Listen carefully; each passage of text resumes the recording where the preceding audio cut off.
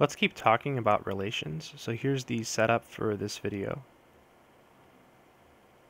So we're going to let S be a set, R a relation on S, and little s an element of capital S. And we have the following extremely important definition. So definition. So the equivalence class, so equivalence class of little s under the relation R. So we're defining what it means or what is the equivalence class of little s under the relation R well, what is it? Is it's a set. So it's the set. So it's an S with a little bar. It's a set of all the x's and s that are related to little s. So x is related to little s. So if you have a member of this set, then it's related to little s via the relation r. There is more common notation that is often used. Uh, people usually use a bracket. I'll stick to the bar notation. So just a quick remark on the definition. Remark. If R is an equivalence relation, I'll abbreviate it EQREL, then in particular R is reflexive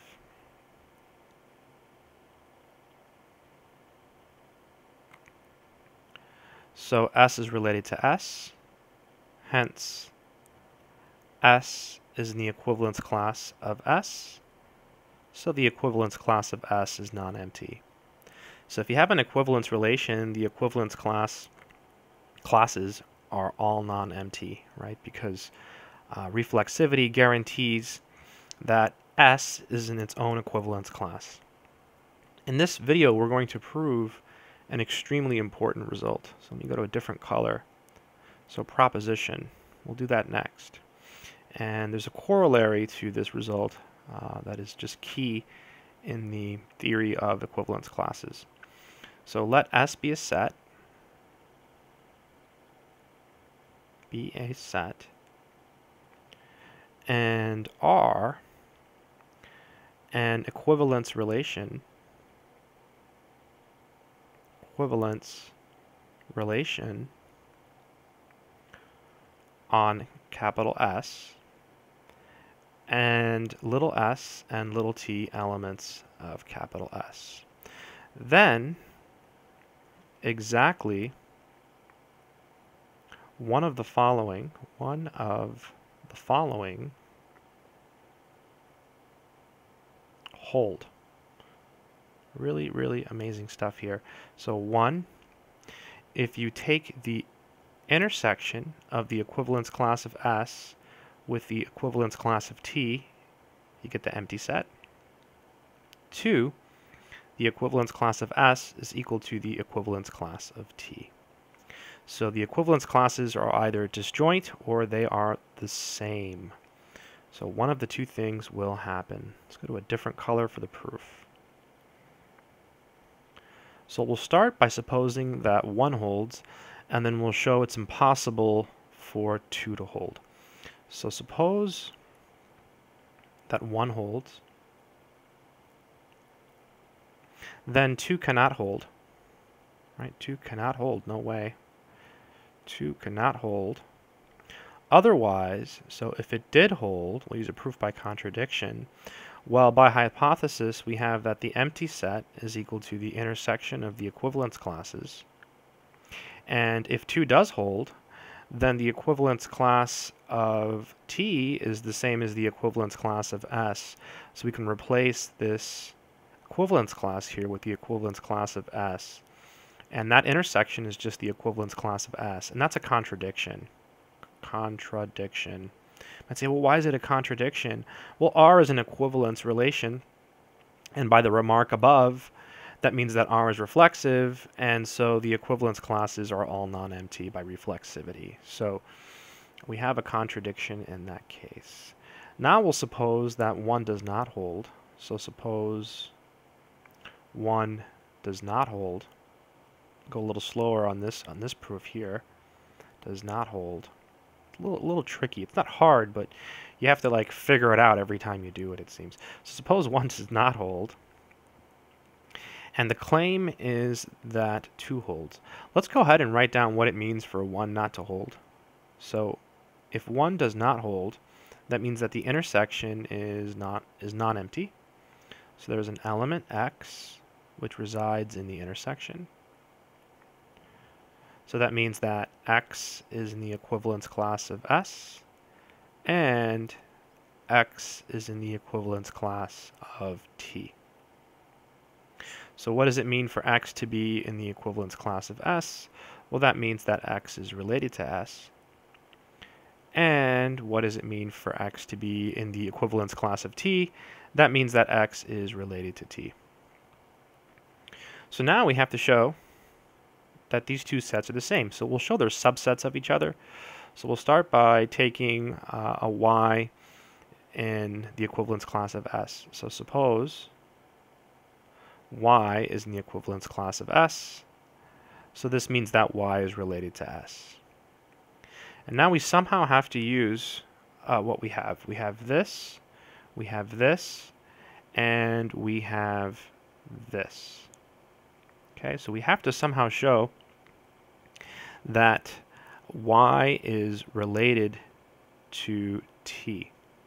Well, first let's use symmetry on this piece here. So since x is related to s, we have that S is related to X. And that's by symmetry. Okay. And now we can use, um, looks like we can use transitivity. So since S is related to X, and X is related to T, right? We wanted to combine these, and to do that we had to use symmetry. That means that S is related to T, and this is by transitivity. Transitivity. Okay.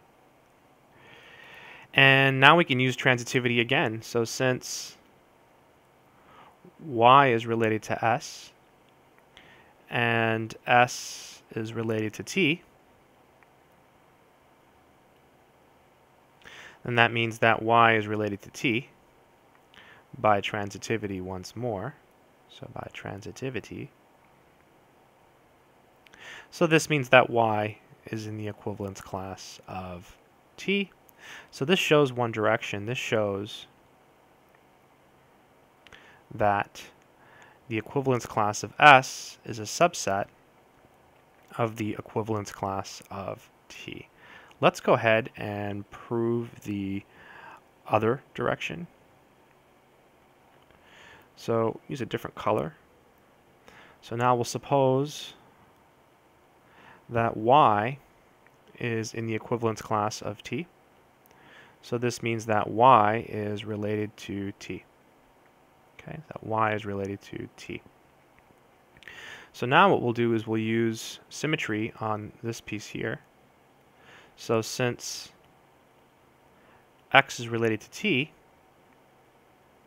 we have that t is related to x by symmetry.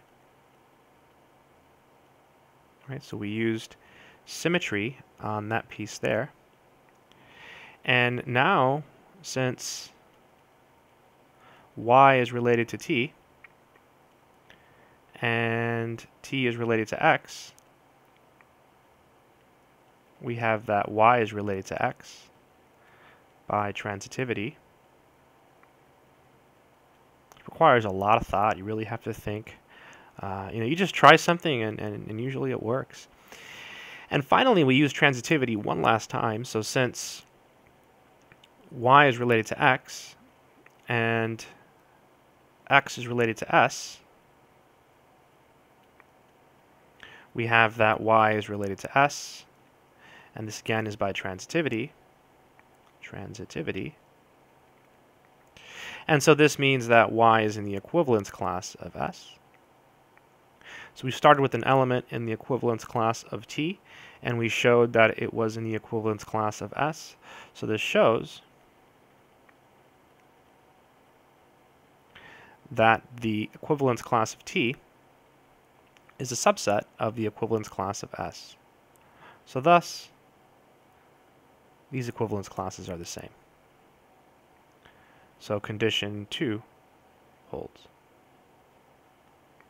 Don't know why I circled it. I believe it was in parentheses. And that, and that completes uh, the proof. So there's a, a, a, corollary to this. Let's, let's go ahead and, and go through it. It's not a long proof, but it's like the key result. So proposition proposition. So let S be a set, be a set, and R an equivalence relation, equivalence relation, you know, on the set. And let's let the set of C sub i as i runs through some index set be or rather the collect let that be the collection of equivalence classes.